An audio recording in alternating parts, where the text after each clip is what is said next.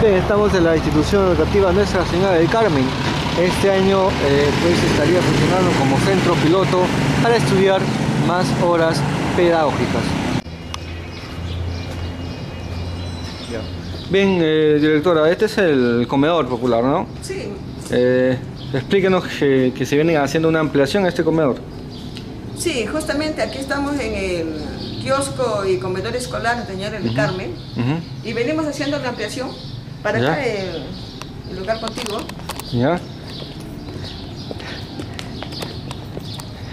En lo que es esta zona ¿Ya? ya tenemos el visto bueno de autoridad local para hacer lo que es toda una nivelación del terreno, hacer la limpieza respectiva. Luego aquí vamos a armar un tipo cabaña, justamente con relación con los padres de familia. Y en esta parte del patio.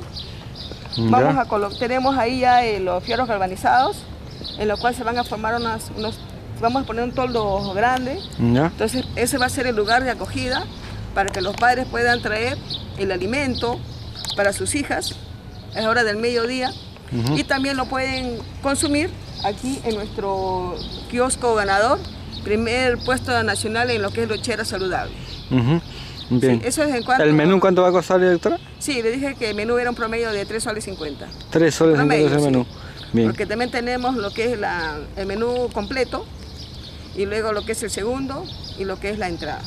Todo con su refresco y, y siempre preocupándonos porque sea una alimentación balanceada, que sea nutritiva y con productos locales.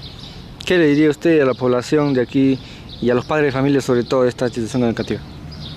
Lo que le diría a los padres de familia es que matriculen a sus hijas en nuestro Colegio Niñera del Carmen, ya que este año tenemos un apoyo al Ministerio de Educación en lo, en lo que es la jornada escolar completa. Sí, el punto más débil es la alimentación, pero invocamos a los padres de familia que nos comprendan.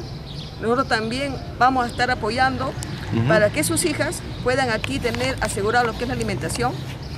El Ministerio no nos da para alimentos, no nos abastece eso, pero sí en alianza con los padres de familia y con el colegio y autoridades podemos llegar a garantizar para que sus hijas estén bien alimentadas y al mismo tiempo puedan estudiar y logren tener mejores aprendizajes, ya que se incrementan lo que es de 7 horas diarias que era la- el aprendizaje eh, en aula, ahora van a ser 9 horas, pero no solamente va a ser en aula, sino que tenemos talleres funcionales. Tendremos talleres funcionales de inglés, talleres funcionales de lo que es de matemática, de comunicación, de CTA. Todos van a ser especies de laboratorios de aprendizaje, donde nos van a llegar, este, nos van a implementar con materiales educativos, con personal especializado. Entonces, apostemos porque es una, una innovación y los padres no deberían aprovechar esta oportunidad. Ok. Muchas gracias, directora.